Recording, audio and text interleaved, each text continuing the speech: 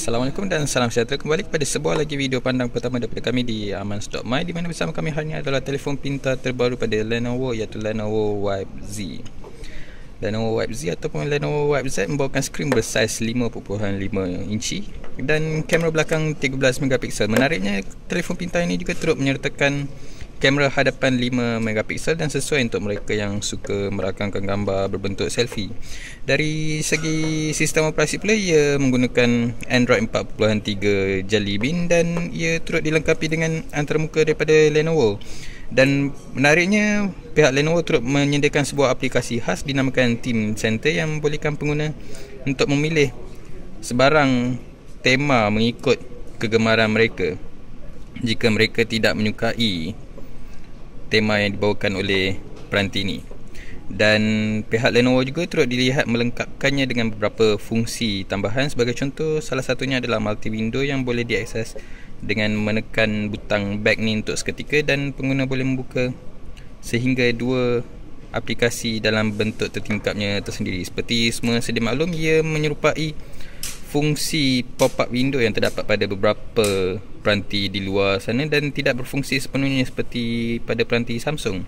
Dan selain daripada itu, beberapa fungsi lain juga turut disertakan oleh mereka. Sebagai contoh, pada halaman tetapan, pengguna boleh memilih fungsi-fungsi yang ingin diaktifkan seperti shake to lock di mana pengguna boleh membuat goncangan dan ia akan menutup peranti dan Selain daripada itu adalah seperti smart sleep yang membolehkan pengguna untuk meletakkan peranti ini pada permukaan data dan ia akan kunci selepas beberapa saat.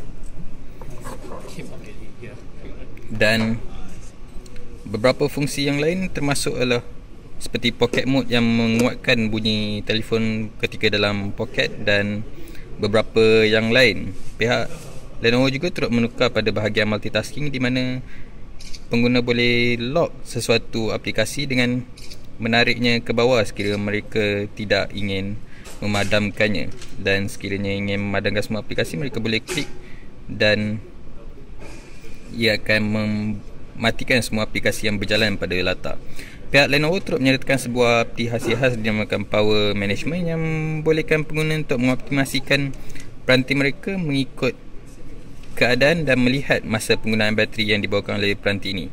Dari segi rekaan ia membawakan bahagian belakang yang tidak boleh ditanggalkan dan pengguna boleh memasukkan kad SIM pada bahagian kanan peranti, pengecasan pada bahagian bawah dan pengawalan volume pada bahagian kiri yang bagi kami agak janggal berbanding beberapa peranti hari ini dan butang kuasa terletak pada bahagian atas peranti ini. Jadi ini adalah pandang pertama. Oh ya. Yeah. Pada bahagian kamera juga memandangkan ia memfokuskan kepada sokongan selfie dan sebagainya pihak Lenovo turut menyertakan beberapa fungsi tambahan. Sebagai contoh mereka boleh pengguna boleh menambah efek pada gambar di mana pelbagai efek disediakan oleh mereka dan mereka boleh melihatnya dalam bentuk masa nyata. Secara kasarnya kami masih mendapat lihat lengah masa berlaku pada peranti ini berkemungkinan kerana ia mungkin tidak bersedia sepenuhnya dan mungkin set yang kami uji ini adalah set pembangun dan bukan set untuk pengguna akhir. Jadi ini adalah pandang pertama secara ringkas seperti kami untuk Lenovo Web Z dan Lenovo Web Z akan dijual eksklusif melalui Cellcom bermula minggu hadapan 15 Mac dan untuk melalui pengedar rasmi Lenovo bermula 15 April ni.